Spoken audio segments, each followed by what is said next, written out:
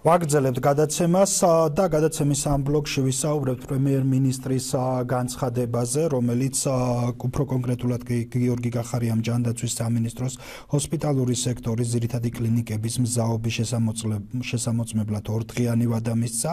ამის შესახებ პრემიერმა საკოორდინაციო საბჭოს ხდომაზე განაცხადა, მან ასევე ისაუბრა იმის შესახებ თუ მაგალითად კონკრეტულად რასაც პირველად პირველ ცხელხას ვეძახით ვირუსთან ბრძოლის მზაობა რომ მოგვახსენოს დღეს დეტალებში აქ მარტივია ჩვენ სოფლის ექიმები ყავს დაახლოებით 1200 ადამიანი და ოჯახის ექიმები დაახლოებით 2000 ადამიანი სად არიან ესენი რას აკეთებენ რამდენად არიან მზად და როგორ არის გაშლილი ეს ინფორმაცია? პირველ რიგში შესამოწმებელია ამ ადამიანების მზაობა ცხელებასთან გამოწვეული პრობლემების გამკლავებაში. ეს უკიდურეს უპირველესად მნიშვნელოვანია რამე თუ ეს არის ერთადერთი დაზღვევა რომელსაც შეუძლია ჯანდაცვის ჰოსპიტალურ სისტემაზე სისტემაზე ზეწოლაში ამ სუბუქოს განაცხადა და გიორგი გახარიამ დღეს ჩვენი სტუმარი ანინო შატაკიშვილი ბერბუკის ამბულატორიის ოჯახის ექიმი დიდი მადლობა მოგესალმებით და დიდი მადლობა რომ ხარ ჩვენთან სტუდიაში მიუხედავად დატვირთული დღის გრაფიკისა.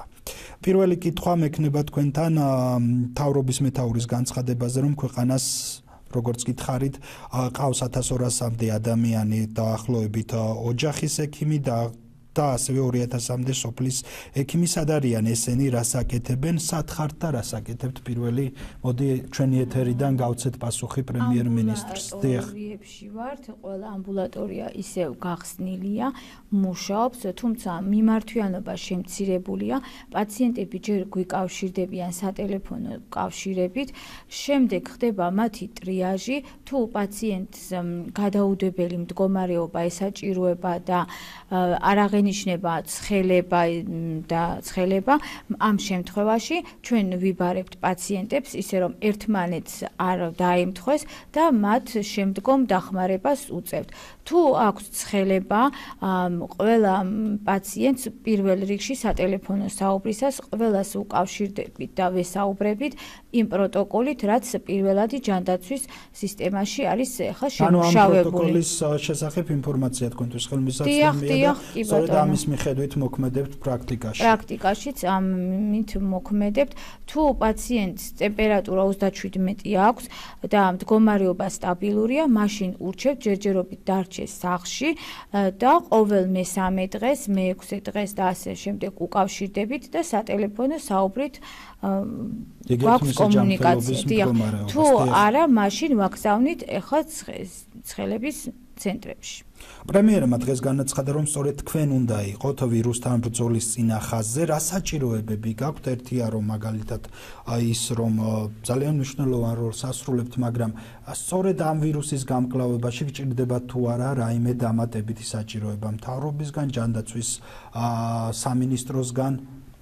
პირბადეები, ხელთათმანები და სადიზინფექციო ხსნარები ესენი გვაქვს. რაც შეღაფა სპეცტანსაცმლის ამბულატორიებში ჯერჯერობით არ გვაქვს და ალბათ ამ ეტაპზე არ იყო საჭირო ამ მათი ჩვენი ამით აღჭურვა. და გულისხმობთ კი დახურულ დიახ კი ბატონო, იმის პარალელურად რომ თქვენ ხართ შავშვების თემში, ბერბუკის თემში და დიახ, ექიმი და ასევე დღეს თქვენ ხართ სასწრაფო სამედიცინო და დახმარების მორიგე ექიმი, რამდენი გამოძახება ქონდა და თუ თუ დაგვხდათ საეჭვო მდგომარეობა ვირუსის სიმპტომებით ან პაციენტები ეგრეთ წოდებული ცხელებით? დღეს ესეთი გამოძახება არ ქონია, თუმცა არის ხოლმე შემთხვევები, როცა ესეთი გამოძახებები არის. ძირითადად ვირუსები, ჩვეულებრივ სეზონური ვირუსებზე გვაქვს გამოძახებები.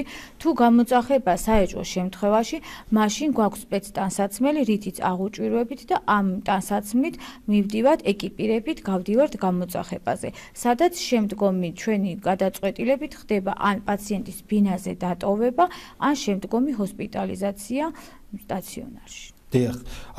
თუ აკონტროლებთ ასევე თვითიზოლაციაში ვინც არიან თუ გევალება თქვენ მათი კონტროლი რომ საზოგადოების ჩვენ არა 112-ის თანამშრომლებს კი, მაგრამ კონკრეტულად ჩვენთვის ჯერ არ დაუვალებიათ მსგავსი. და არის თუ არა პანიკურად გამოძახებები, მაგალითად სიმპტომებზე რო ოდნავ იწხელება სიცხე თუ აქ როდესაც რეკომენდაციები რო გავცეთ, აი სწორედ ძალიან მნიშვნელოვანია თქვენგან ეს, რომ რა შემთხვევაშია საეჭო და რა შემთხვევაში არ არის საეჭო თქვენი პრაქტიკული, ასე ვთქვათ, საქმიანობიდან გამომდინარე, როდესაც გირეკავთ მოქალაქე და გეუბნებათ, რომ მას მაღალი ტემპერატურა აქვს, ან უფრო სწორად ტემპერატურა აქვს, მიდიხარ და შემდეგ რა დანიშნულებას აძლევთ, ან რა შემთხვევაშია განსაკუთრებით აა ასე ვთქვათ, საგანგაშო ეს ტემპერატურა.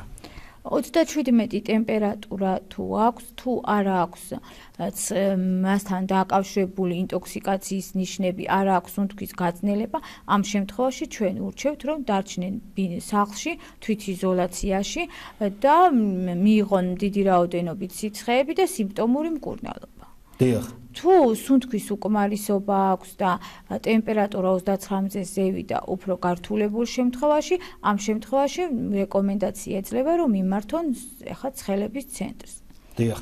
ან დარეკო 112-ში ამ შემთხვევაში. დიახ. ანუ პირველად მაინც თემებში, სოფლის თემებში, მაინც თქვენ გაკითხავენ პირველად. დიახ, პირველად ჩვენ გვაკითხავენ.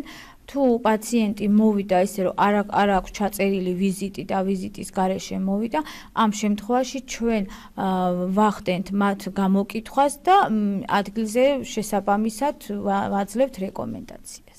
კარგით, მადლობა მინდა გადაგიხადოთ იმისთვის, რომ იყავით ჩვენი სტუმარი ნინო შატაკიშვილი, პერბუკის ამბულატორიის ოჯახის ექიმი იყო ჩვენი სტუმარი, გადაცემას უკვე გავაგრძელებთ ეკონომიკური და პრემიერ-მინისტრის ეკონომიკური აქცენტებით, მან თქვა, რომ ამ ფონზე იმ დროს, როდესაც ქვეყანაში არის შეზღუდული რიგი ეკონომიკური საქმიანობების სწორედ პრევენციის მიმართულებით, ამავე დროს ის მან გასცა განკარგულება დავალება მისამაც შორის ეკონომიკის მინისტრ ჯანდაცვის მინისტრთან ერთად, ეკონომიკის მინისტრს მიმართ მიმართულებით, რომ ექიმების რეკომენდაციების მიხედვით, მედიკოსების რეკომენდაციების მიხედვით ეკონომიკა ამუშავონ, მათ შორის რამდენიმე თვის დახურული ქარხნის ამუშავებაზე ჩვენს რეგიონში აგარის შაქრის გადამამუშავებელი ქარხნის ამუშავებაზე გააკეთა აქცენტი, რამდენიმე წუთში უფრო დეტალურად ვისაუბრებთ ამ თემაზე, დაგველოდეთ.